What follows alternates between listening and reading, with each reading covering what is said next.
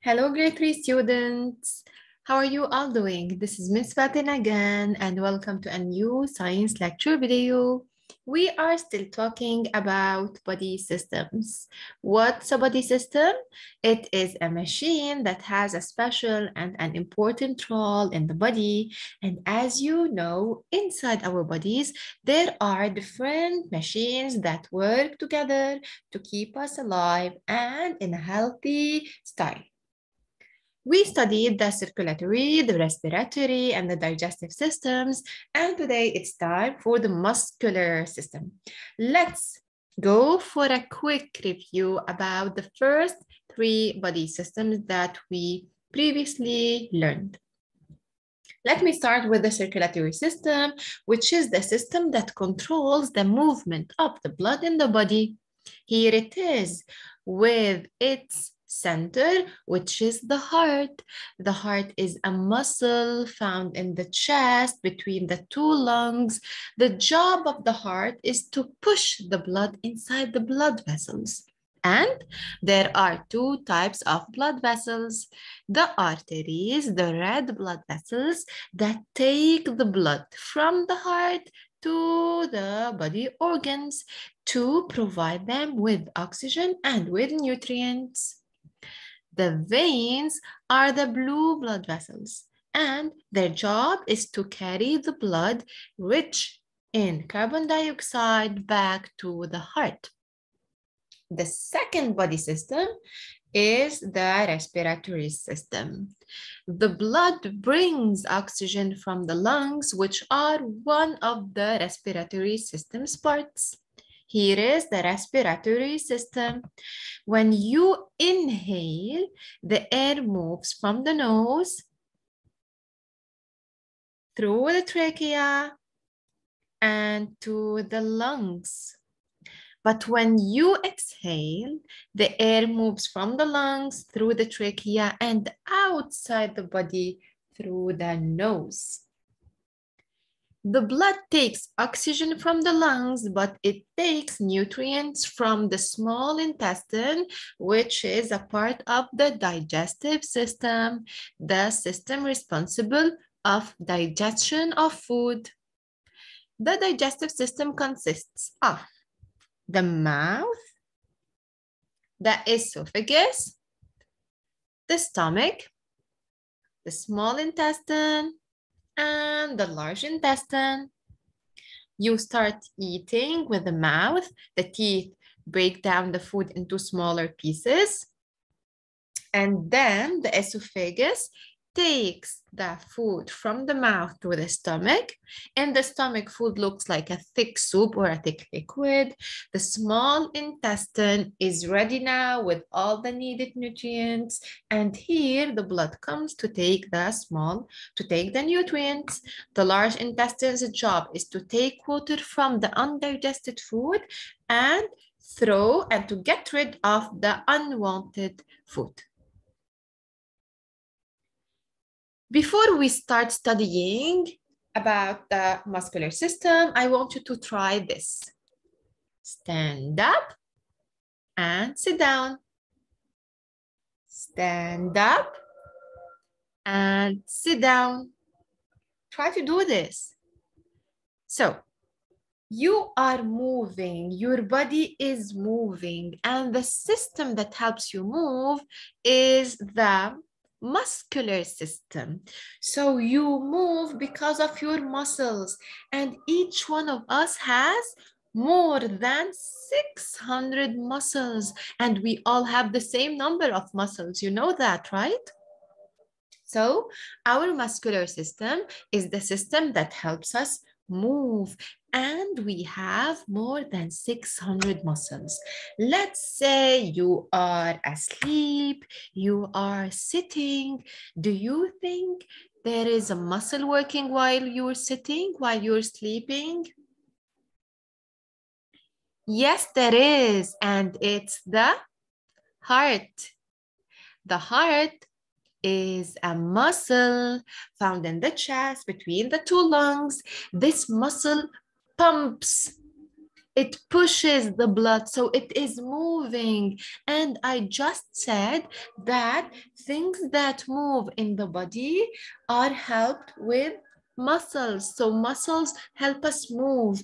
And in the heart, there is a special muscle, which is the first type of muscle, which is the cardiac muscle.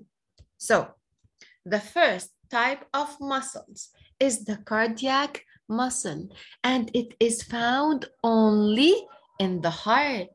What does it do? What does this muscle do? It pushes the blood inside the blood vessels. It is super strong and it works day and night. Do you think before um, uh, the heart beats? Is it you who decide when the heart beats and when it stops beating? No. So the heart works without you thinking of it. So it is an involuntary muscle. Again, the first type of muscles is the cardiac muscle and it works involuntarily. How is that? We do not think before. So the heart works by its own without us thinking of it. It is an involuntary muscle. You cannot control it. Can you stop it, for example? No, you cannot. So it is an involuntary muscle. Miss Faten, what is the second type of muscles? We call them the skeletal muscles. Look at this. Here are the skeletal muscles. Try to move your hands. So these uh, red parts, these are the muscles and they are connected to the bones. The bones are white. When you move your muscles, you're moving your bones. So try to move your arm the way you're singing now. So look at the screen and try to move your arm in the same way. Try to stop. You can, isn't it, right? So you control your muscles. This is a muscle and this is another one. So look at them. When the first one, when the biceps contract, the triceps relaxes. And when the biceps relaxes, the triceps contract.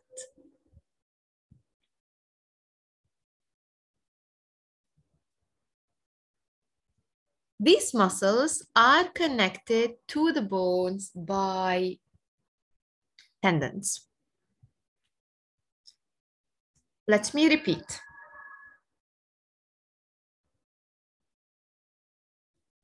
So these are the skeletal muscles. We call them skeletal muscles because they are attached to the bones. Here is the bone. Okay, so this is a bone. And this is another one. And these are also bones. And as you can see, these muscles are connected to the bones.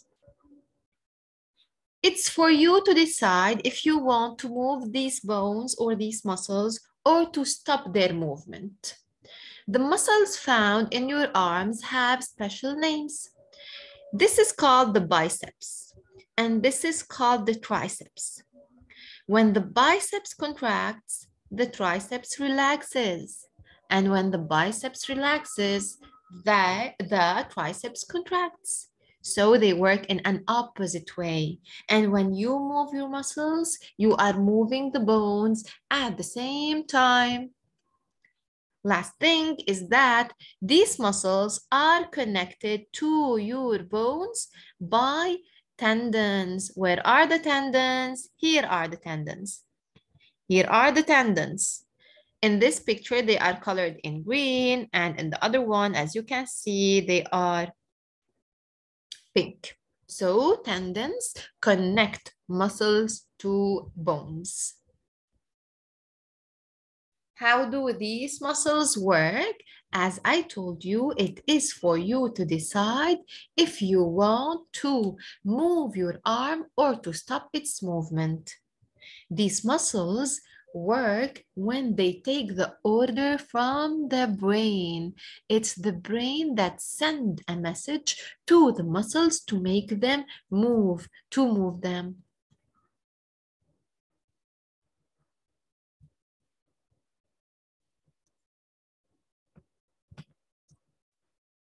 Okay, so here is the brain. The brain sends a message to the muscle to make it move. And also the brain sends a message to the muscle to stop its movement. So it is voluntary. It's optional for you to move it or to stop its movement. It is not like the cardiac muscle. The cardiac muscle is involuntary, while the skeletal muscles are voluntary muscles. The third type of muscles are the smooth muscles, and these ones are found where? Look at this. They are found in your inner organs. So this is the large intestine and also the small intestine, the stomach. Look, they are moving. They are digesting the food, the food. They are getting rid of the unwanted food. So they are moving. Here we have the blood vessels. The blood is moving, is circulating inside the blood vessels. And here is the food going down the esophagus. Lots of movements in our bodies. Do you control these? No, they work by themselves without you thinking of them. So you are or they are involuntary muscles. Okay, you know now that there are three types of muscles in your body. Cardiac muscle, um, skeletal muscles, and smooth muscles. The cardiac muscle and the smooth muscles are involuntary. They work without you thinking of them, while the skeletal muscles are voluntary muscles. All of these muscles make your muscular system that has more than 600 muscles. And let me tell you something, muscles grow in size. They do not grow in number. We all have the same number of muscles. Even um, football players, sportive people, um, they practice. And when they practice, their muscles get bigger and they do not build new muscles. We all have the same number of muscles. They just grow or the muscles grow bigger and bigger when they practice. Some of your biggest and most powerful muscles are in your jaw and you use them for chewing food. Another hard and strong muscle is found in your back. It helps you to stand. The smallest muscle is called the stapedius and it is found in your ear. The longest one is the sartorius and it is found in the thigh. You need to know all of these names. The stapedius is the smallest. The sartorius is the longest. It is the longest muscle in your body. And you have more than 600 muscles and we all have the same number of muscles in our bodies. We're done. How does the muscular system help us? It helps us move. Where do you have muscles? We have muscles almost everywhere in the tongue, in the eyes, in the neck, in the back, in the stomach, in the blood vessels, in the heart, in the legs. So almost everywhere, any place that can move in your body has muscles in it and the muscles help you move. How do we uh, build strong muscles? It's important you drink milk, you eat healthy food, you drink water, you exercise, and you sleep well. Sleeping is also essential to build strong muscles.